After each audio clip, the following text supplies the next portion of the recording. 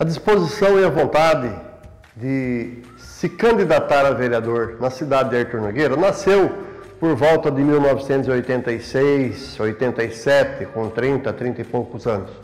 Eu já participava de algumas atividades sociais na cidade. Eu já era representante do INSS, antigo INPS, desde junho de 76. Então a gente tinha um trabalho já voltado à sociedade nogueirense e no decorrer da vida, na participação de campanhas, auxiliando outros candidatos, começou a brotar, a surgir essa, esse início de vontade e essa possibilidade de se candidatar a vereador em nossa cidade. Aí então me filiei ao então PDS à época, fiquei filiado um período. Eu não era tão militante, mas sempre ajudava algum candidato, quer seja do município, quer seja do estado, quer seja para deputado federal, a gente estava sempre participando.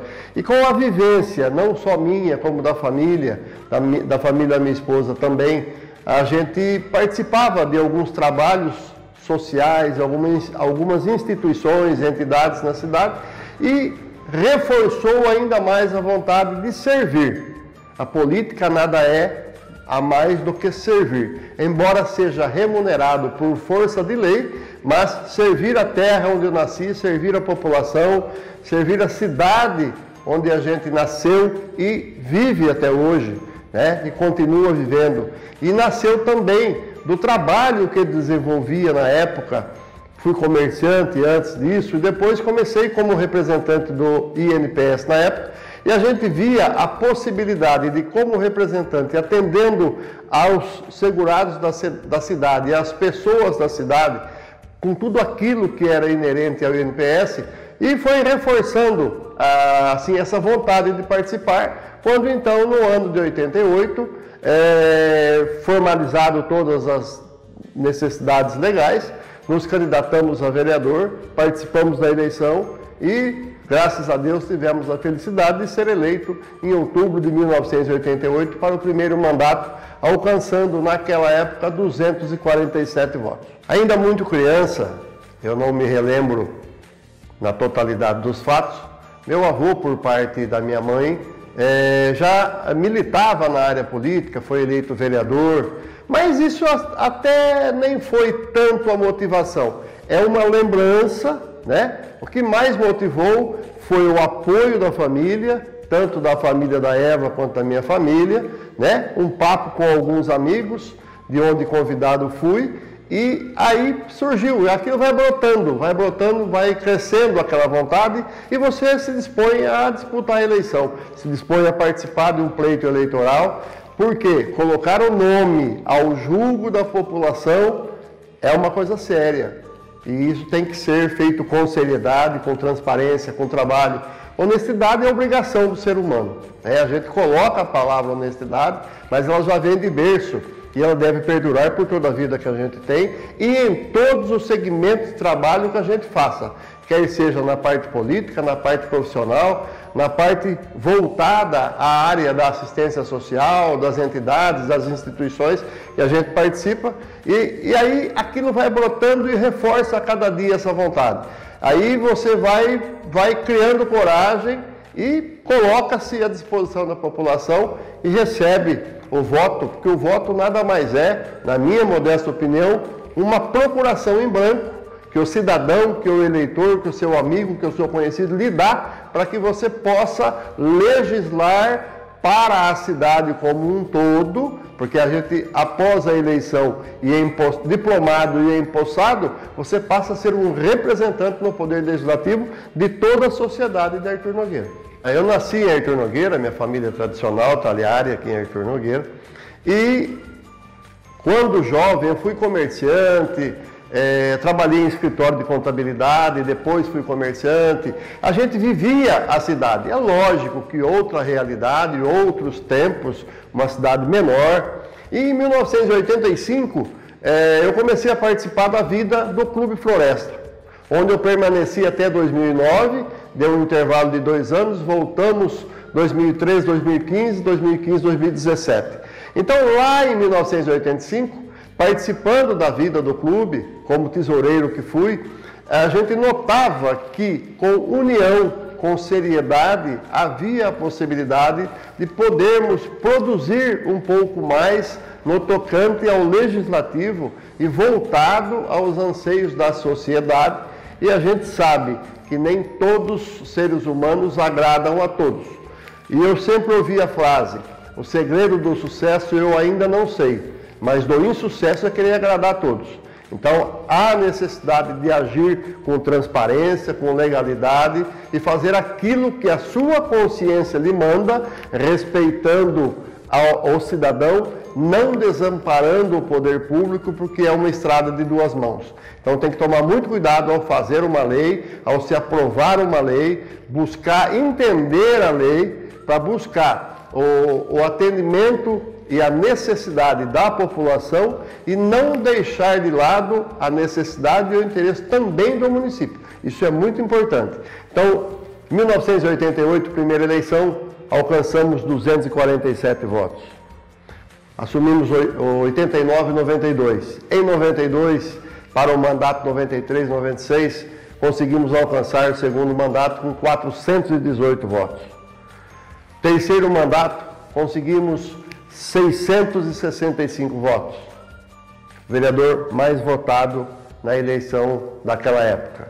E posteriormente, a última eleição como vereador, tivemos 672 votos, também alcançando pela segunda vez a segunda a segunda vez sendo o vereador mais votado, com a responsabilidade de dar posse no dia 1 de janeiro, posterior à eleição, aos vereadores, prefeito e vice-prefeito. Isso no meu currículo me engrandece muito.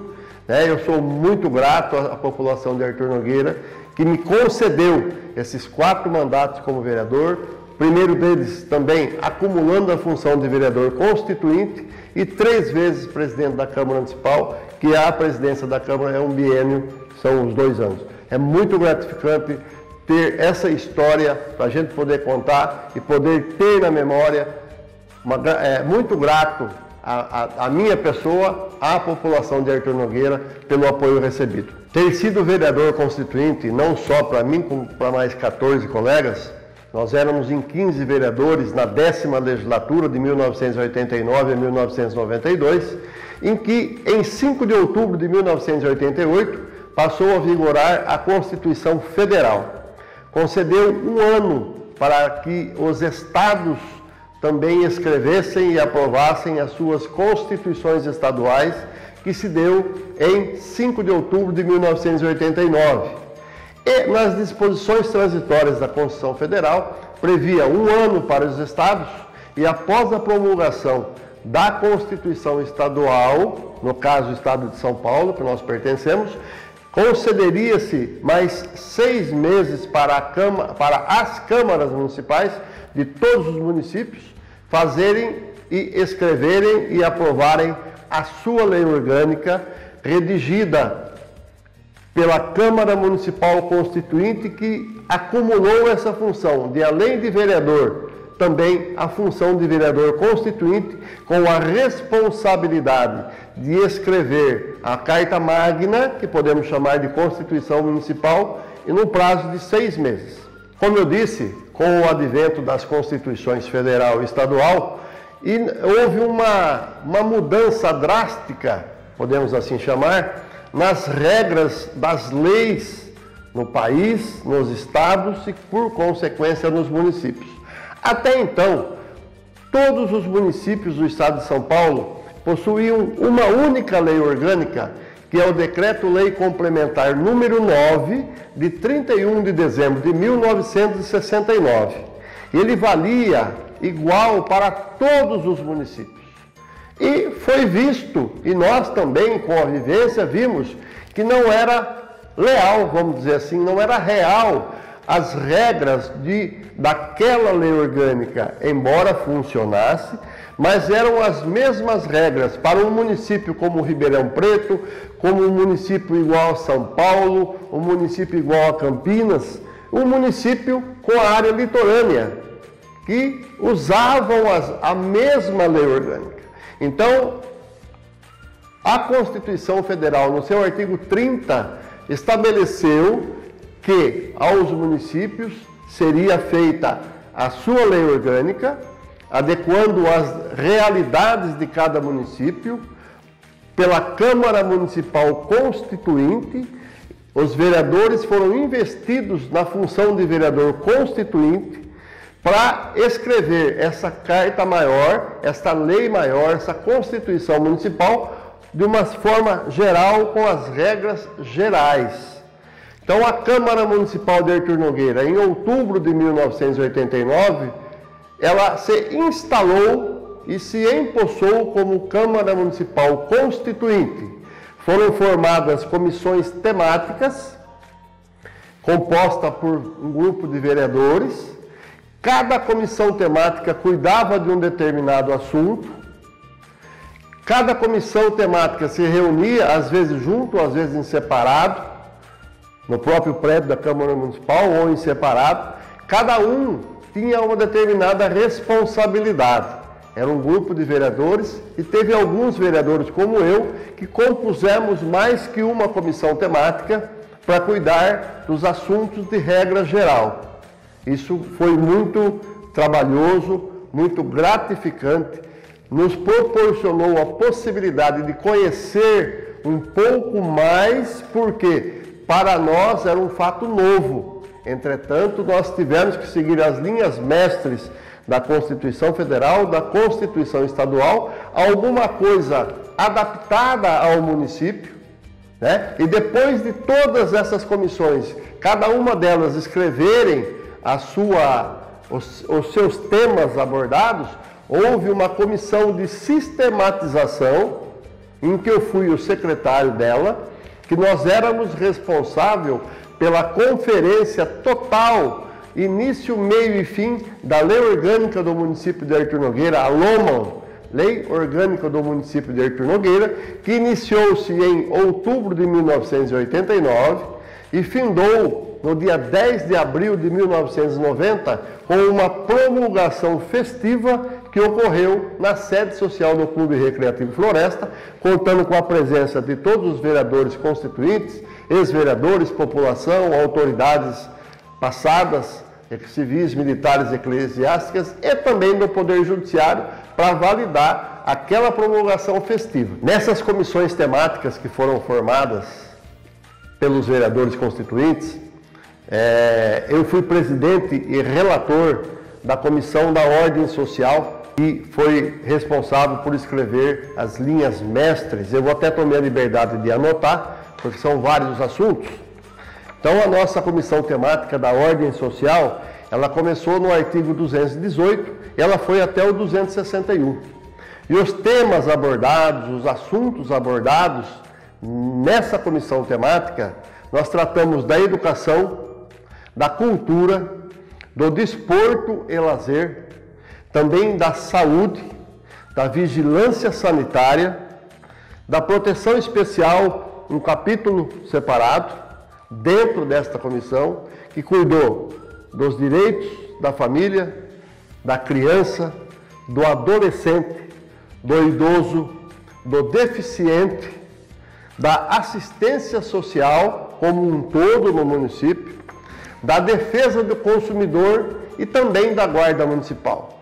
Então, nesses artigos estão elencados todos os direitos dos cidadãos, os deveres do poder público, conjuminado na escrita desses artigos, o que é de obrigação do município, o que é direito do cidadão e também o dever do cidadão.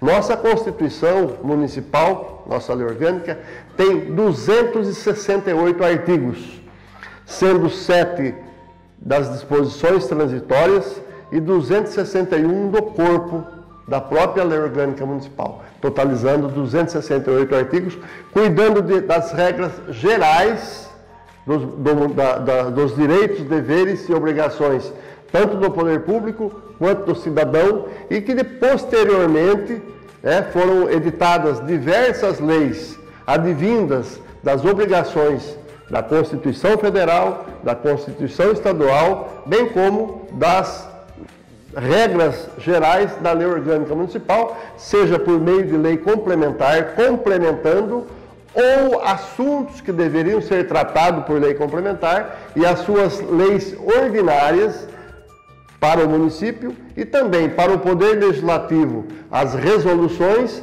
e para o Poder Executivo os projetos de decretos legislativos. Quando fui eleito, em 1988, para o primeiro mandato, a alegria foi total, óbvio.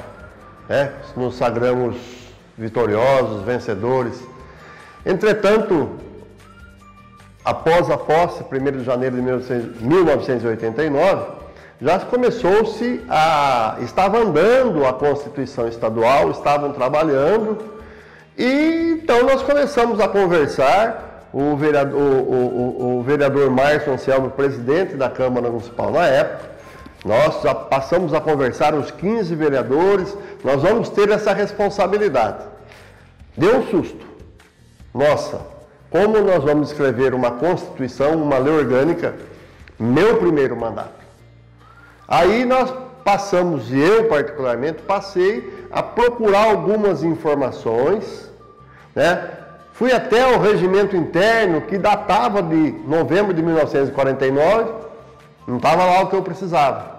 Então nós começamos, eu comecei a buscar alguns contatos com pessoas idôneas, né? conseguimos um contato com o Dr. Walter Poletini na Câmara Municipal de Mojimirim, que depois veio ser o nosso, um dos nossos assessores técnicos, Dr. Walter Poletini, Dr. Tagata, que trabalhava no CEPAM em São Paulo, e Dr. Tagata chegou depois Dr. Walter primeiro, e nós fomos buscando tomar conhecimento. Aí a cada dia que passava, aumentava um pouco a angústia, a preocupação, né? Será que nós vamos dar conta? Será que eu vou dar conta da minha parte?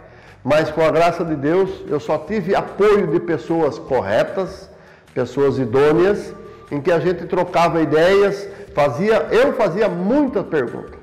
E me interessei e graças a Deus concluímos a lei orgânica, o que me possibilita dizer que no futuro, e já hoje, já com 30 anos, né, é muito gratificante, foi uma oportunidade única, não haverá outra Câmara Municipal Constituinte e nós sabemos, eu sei que nós estamos gravados, estamos cravados na história de Arthur Nogueira como Câmara Municipal Constituinte, como vereador constituinte responsável pela lei maior de nossa cidade. Isso me enche de orgulho, é satisfatório, eu me sinto muito satisfeito e honrado de poder ter participado desse momento histórico, porém técnico, político-administrativo da nossa cidade, em ter o nome gravado na lei orgânica do município de Artur Nogueira. Isso para mim é motivo de muito orgulho e muita satisfação. Foi trabalhoso, gratificante e também nos proporcionou a possibilidade de adquirir conhecimento que nos permite hoje ter a coluna Fala Melinho no site do Correio Nogueirense. E eu vou agradecer mais uma vez a equipe do Correio Nogueirense por ter insistido, porque eu não aceitei da primeira vez. Né? Insistido e nós temos a coluna Fala Melinho no site do Correio Nogueirense todo sábado e também nas nossas redes sociais, dispondo sobre questões técnicas legislativas, levando ao conhecimento da população, daqueles que nos acompanham, o que é o poder legislativo e como ele funciona. Isso nos permitiu, com a escrita da lei orgânica, com a escrita e a promulgação do regimento interno, me gabaritou, me, me possibilitou as condições mínimas legais para poder discernir e dispor, explicar à nossa população e também a, não só de Artur Nogueira, como eu tenho outros amigos em outros municípios que também nos acompanham. Isso é muito gratificante. Então, participar daquele momento histórico é muito gratificante e eu vou levar por resto da minha vida essa gratidão né, pela possibilidade de ter deixado registrado nos anais da Câmara Municipal, nos anais das legislações, porque após a lei orgânica, que foi em 1990, eu tive mandato até final de 2004. Nós elaboramos muitas leis complementares, muitas leis regulamentando as necessidades do município em consonância com a Constituição Federal, com a Constituição Estadual, também respeitando a nossa lei orgânica e as leis saíram legalmente formalizadas por não contrariar nenhum dispositivo legal. Mais uma vez, eu quero agradecer à equipe do Correio Nogueirense que, além de nos ter convidado para ter a coluna Fala Melinho no site e nas nossas redes sociais, também no decorrer do trabalho, trocando as ideias, conversando os assuntos de interesse da coletividade, surgiu o fato, né, surgiu o assunto de lei orgânica do município de Artur Nogueira há 30 anos. Eles abraçaram a causa e nós estamos aqui trazendo hoje a minha pessoa e eu quero deixar um abraço e um obrigado especial a todos aqueles que votaram uma vez, duas, três, quatro, cinco, seis vezes no Melim, que eu procurei representar. Não aquilo que eu queria, mas aquilo que a consciência mandava. E como eu disse, nos, nos princípios basilares previstos no artigo 37 da Constituição Federal, nos princípios da administração pública, meus atos foram sempre transparentes. Eu simplesmente não chego na Câmara Municipal e voto aquilo que eu quero. Eu sempre troquei ideias, sempre busquei trocar ideias e busquei, no analisar as leis que nós iríamos votar, buscar aquilo que era o menos pior, que eu sempre digo isso. O melhor talvez a gente não tenha conseguido fazer, mas tentamos fazer aquilo que nos foi possível, aquilo que a consciência mandava e aquilo que a lei permitia, não prejudicando o cidadão, não prejudicando o município, buscando equalizar né, as atitudes e os atos para que pudéssemos fazer aquilo que nos fosse possível e o melhor do que era possível a gente poder fazer. Então, a minha gratidão eu deixo aqui registrado em público e também para a posteridade. Então, eu peço a todos que, quando forem votar, procurem votar com consciência, porque não precisa ser nenhum doutor, não precisa ter doutorado, precisa ter moral, credibilidade, confiança transparência e respeito ao poder público e, acima de tudo, respeito à população, que é a maior autoridade da nossa cidade. Um grande abraço e muito obrigado.